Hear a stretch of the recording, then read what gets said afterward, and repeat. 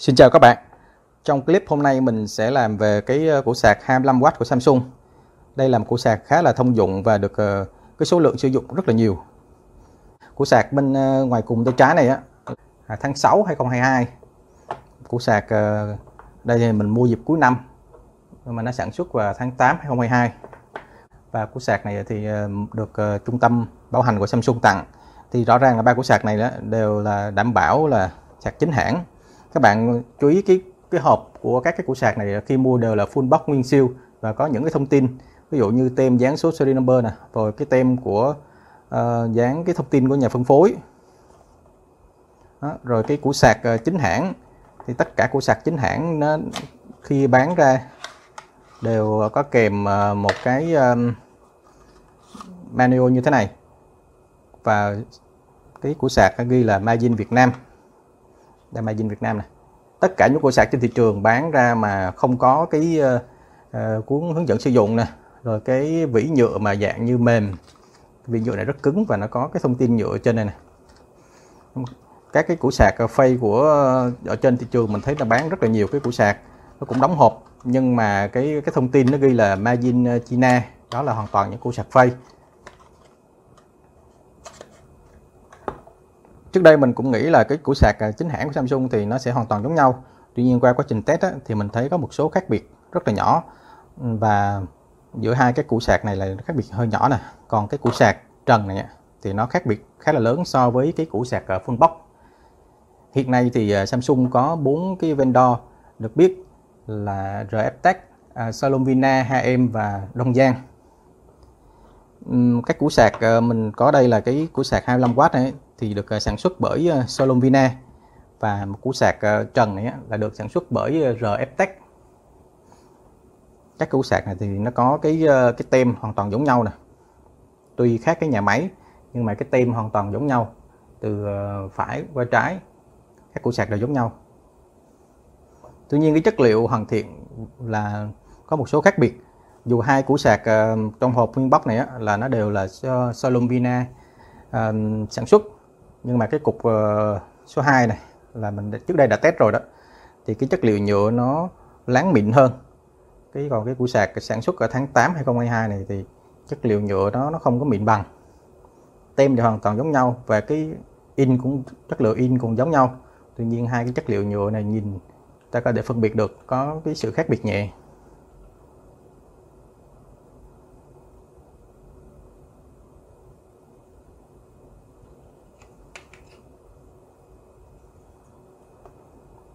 So với cái củ sạc trần á thì khác biệt cũng khá là lớn. Khi mà cái cái tem của củ sạc trần này là in dạng nhám có thể cảm nhận được bằng cái cái tay chúng ta chạm vào cái tem. Còn cái củ sạc uh, trong full box này á, thì cái tem rất láng nó không có một cái cái độ gợn. Về hình thức tem thì hoàn toàn giống nhau các thông tin cũng khá là giống nhau. Nhưng mà cái chất liệu của củ sạc trần này á, là nó cũng không mịn bằng cái củ sạc uh, full box.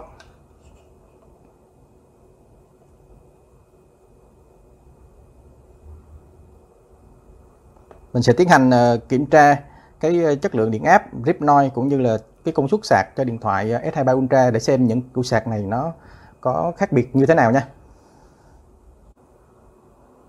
Đầu tiên là mình sẽ test cái công suất sạc cho cái S23 Ultra. Mình có củ sạc số 2 đây là củ sạc của hạ sản xuất bởi cái nhà máy là Solomina.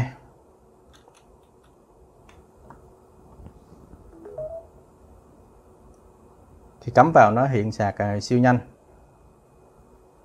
Và công suất hiện giờ là nó nhảy lên khoảng 24,8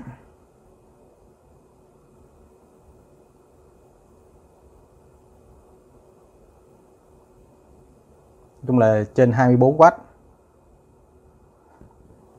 cái uh, cái chuẩn sạc đó là PD 3.0 PPS 9,14V 2,75A tiếp theo là mình sẽ tiến hành à, test cái củ sạc thứ hai. Củ sạc này cũng của Solomina, nhưng mà sản xuất là tháng 8 2022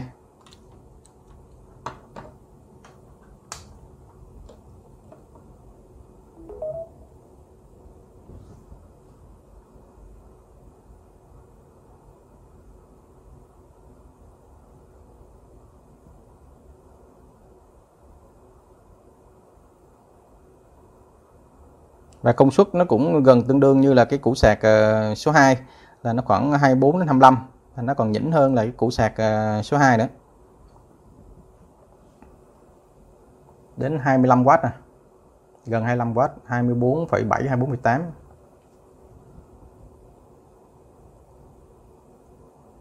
và cái chuẩn sạc nó vẫn là PD 3.0 PPS 9,14 2,75 hai củ sạc này thì nó có thông số sạc S23 hoàn toàn giống nhau.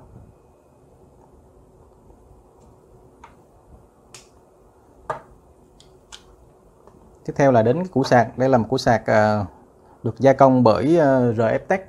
Các bạn chú ý là cái số series number của củ sạc là nó có ba số cuối nè RT3 này trong đó cái hai cái chữ RT là ký hiệu của cái nhà máy là RF Tech ở ở Thái Nguyên. Trong khi cái củ sạc à, uh, Solumina thì các bạn chú ý là nó có cái mã là SB đây là SEB này là SE nè. SE là Solumina mình sẽ test cái củ sạc ờ, sạc trần được tặng kèm khi mua với ờ, S23 Ultra.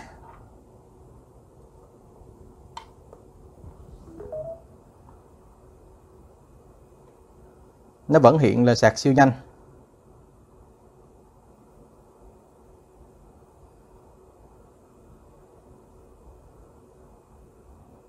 Tuy nhiên cái công suất của củ sạc này là nó chỉ có khoảng 21,6 thôi. 21,4 nè. Thấp hơn hai cái ờ, của sạc vừa test. 21,2 mình sẽ test lại hai cái củ sạc này nha.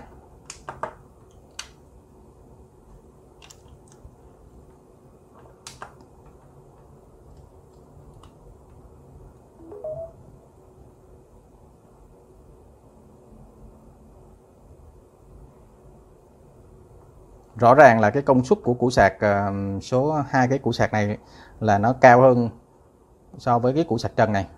Củ sạc trần này chỉ cỡ 21 phẩy mấy thôi, trong khi cái củ sạc, hai củ sạc ờ, bóc này là nó đến 20 hơn 24W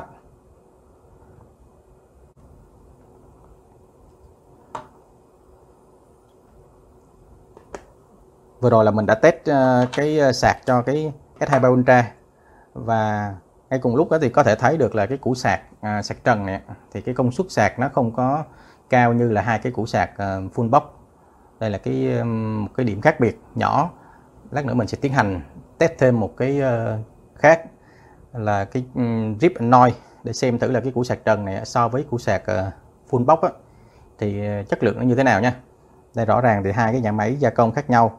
Thì uh, mình không biết là những cái tiêu chuẩn của Samsung thì nó đặt ra cái ờ, tiêu chuẩn của sạc như thế nào, nhưng rõ ràng là hai củ sạc ờ, full box này thì công suất nó sạc cao hơn cái củ sạc trần. Cái test thứ hai mình muốn kiểm tra đó là cái rip no của các củ sạc.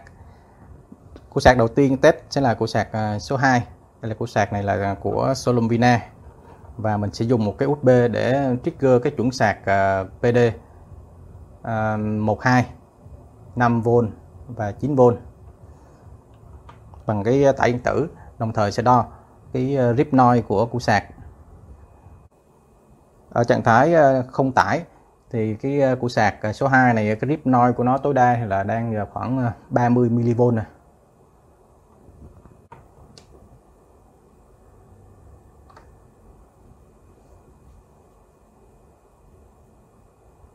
cái rip noise hiện giờ là khoảng 68,8 mV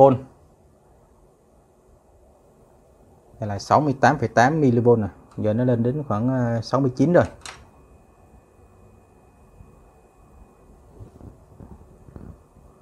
Đây là cái ờ, rip and noise của cái cục sạc ờ, số 2 ở cái công suất là 5V và 3A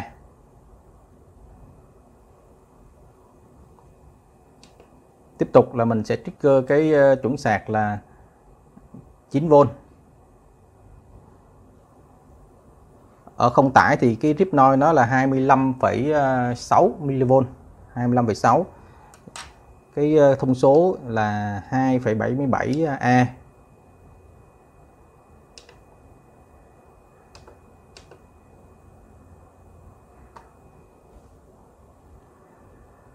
Rip and noise của sạc hiện giờ là 83,2 đây là cái hình dạng của cái uh, rip noi khá là đều nha.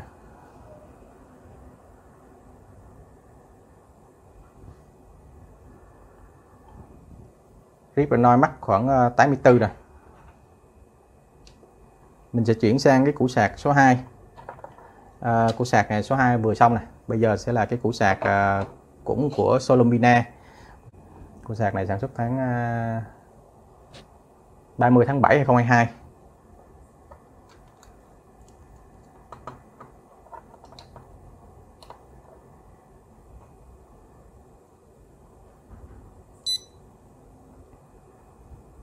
ở mức ờ, 5V 0A thì củ sạc ờ, noise là khoảng 34,4 và mình set cái này là 3A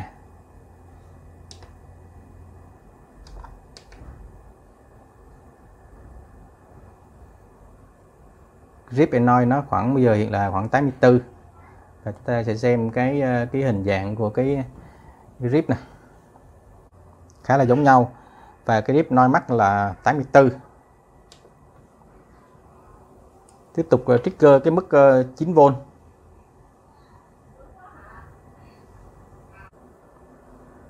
ở mức 9V và 0A thì cái củ sạc này là nó đang cái rip noise là khoảng 29,2 bây giờ mình sẽ à, cài đặt cái dòng 2,77A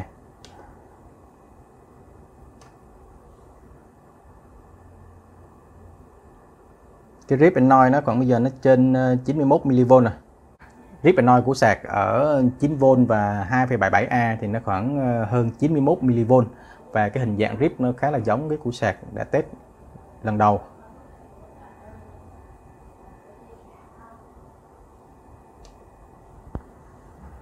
Tiếp theo mình sẽ test cái củ sạc uh, sạc trần.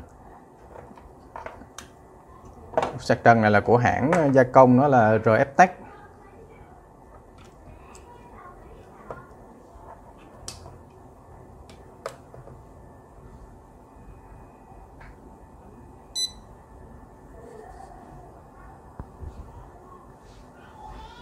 ở cái mức ờ, 5V 0A thì cái dip noise của nó đã là lên đến ờ, 56 mV rồi. Mình sẽ set up cái ờ, dòng của nó là 3A theo đúng cái thông số của cái củ sạc.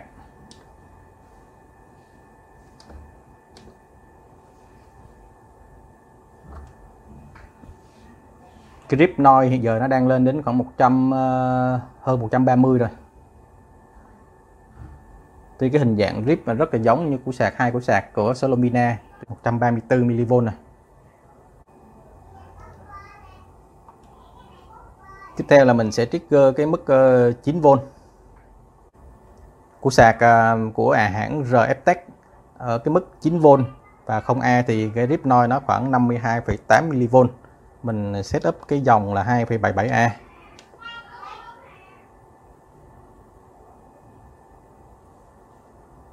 Cái uh, rip and noise khoảng ờ, uh, 130 so với cái rip noise của hai cô sạc uh, của Solovina thì cỡ khoảng uh, lanh quanh cái mức 90 thì cái này là 100 hơn 130 mV và cái hình dạng rip thì nó cũng khá giống so với lại hai củ sạc kia nhưng mà cái rip noise này nó cao hơn.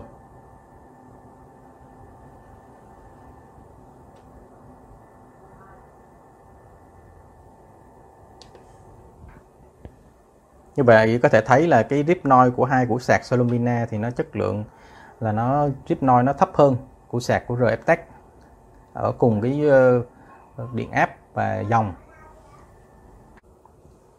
Mình vừa test và so sánh ba củ sạc ờ, của Samsung.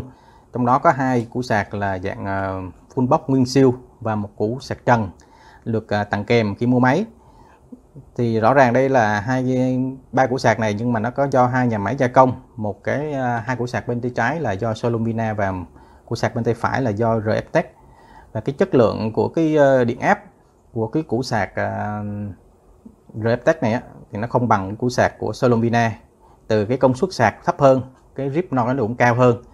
Đó. và cái độ hoàn thiện là nó cũng không ờ, được sắc sảo như là cái củ sạc à, full box từ đó có thể nhận thấy là cái củ sạc mà dùng để bán lẻ mà trong cái hộp full box của Nguyên siêu của Samsung là củ sạc có chất lượng cao nhất của hãng.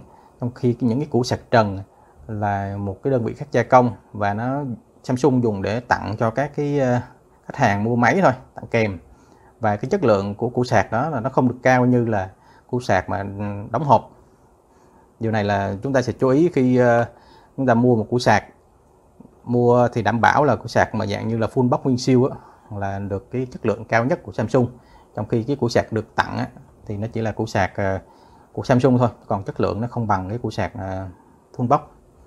Hy vọng là các bạn sau khi xem clip này á, sẽ có một cái sự lựa chọn phù hợp với cái uh, nhu cầu và chọn một củ sạc đúng với lại cái mong muốn của mình nha. Xin cảm ơn xin chào và hẹn gặp lại.